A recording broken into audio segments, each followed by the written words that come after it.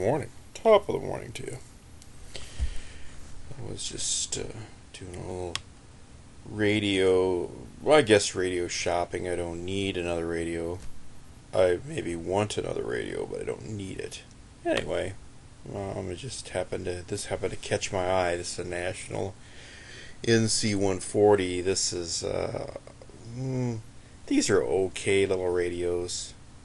Uh, there's actually a speaker that goes with this, and I don't see this in the seller's advert here in these pictures, or her pictures.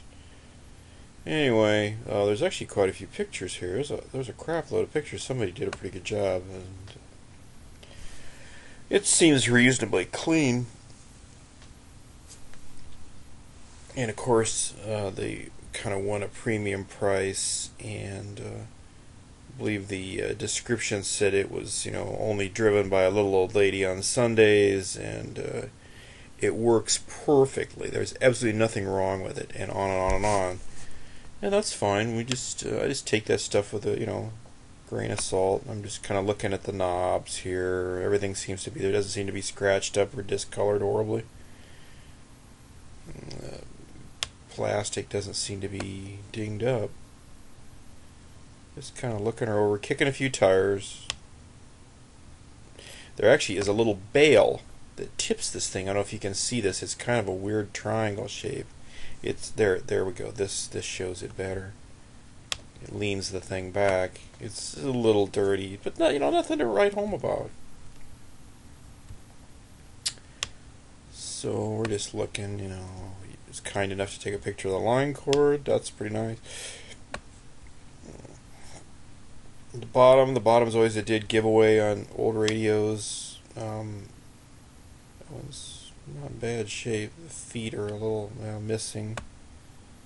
No big deal. Nothing to write home about. And, oh, some good pictures of the back. Uh, pictures of the inside of the chassis. That's kind of a bonus. Usually people don't do that stuff. Seems in pretty good shape. It's pretty clean. There's not there aren't little furry four-footed friends, mm, or maybe more-footed friends, you know, living there. What else we got? The top deck looks pretty good. Nothing's been up right off the bat. Yeah, not too bad. We're doing pretty good. And, uh, uh-oh, looky what I found. So, what that is, uh, well, I don't think I really need to explain that very much, but uh, so much for the perfect working condition. That is the rectifier tube going into meltdown, is what that is. Uh, that shouldn't be turning red.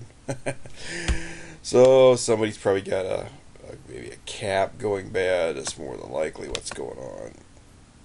There anything else in here that looks Yep, yep, a little problem there. So if, if that works, it's working poorly. So if you're under the guise of you're going to get this home and not do any work to it, I think you better think again. Like I said, these are okay little radio. They're about one stage above the kind of converted All American 5 bottom feeders. Um,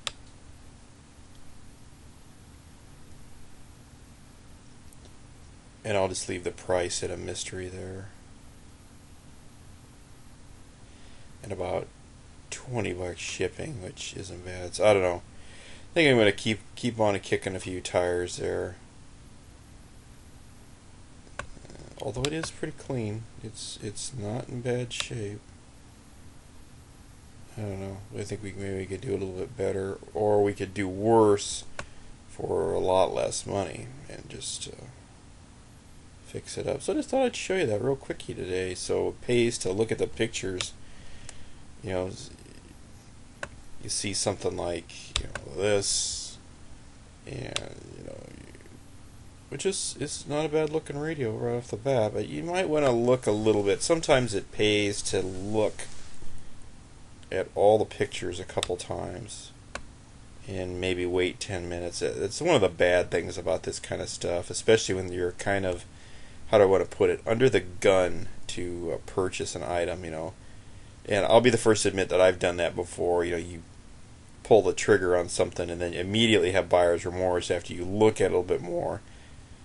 Uh, you know, actually, the national stuff. If you're going to buy a national, look real hard at the knobs. They tend to get this white crud built up on them. It, it's something to do with the plastic, and it seems to be if the thing is kind of poorly stored or stored someplace damp or stored someplace where the temperature is varying. That's one of the reasons I look at the bottoms. Um, if you, you know, normally people just throw these things in a corner, and if they've been sitting, then the corrosion starts to dig in here. You know, like I said, he's missing a foot there, but overall, you know, it's not a bad radio. It's just it's not um, in perfect working order. Now, to be fair, that may be the the the buyer or the seller may have limited knowledge, you know. So I don't know.